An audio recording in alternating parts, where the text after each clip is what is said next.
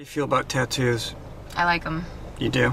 I don't know if I would date someone that's all tatted up because I don't want to be that couple at the beach, you know, out with a bunch of kids and a tramp stamp. But I like photographing them, and but I think so many people have such horrible, dumb tattoos, Yeah, you know, as like ar- jail-looking tattoos. as an artist, I think if I had a tattoo, I would just get so sick of it. I don't think there's anything that important enough that you can permanently put it on your body and not get sick of.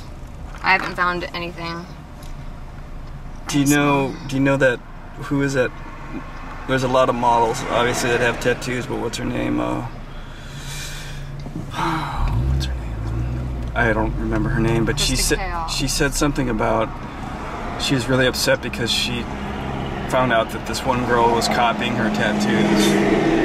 That would make me mad too. Another girl got really pissed because um, she got an Inked and she had like these wash off ones or something that she put on. And she made the magazine and she only has like one and the rest was like henna or something. I thought it was funny. Did she get in trouble?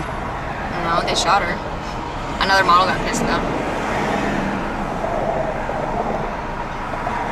I mean, if you have to go get a bunch of ink to get shot, then So let's say you could live anywhere in the world. Where would it be? Hmm, no, declining. Bye.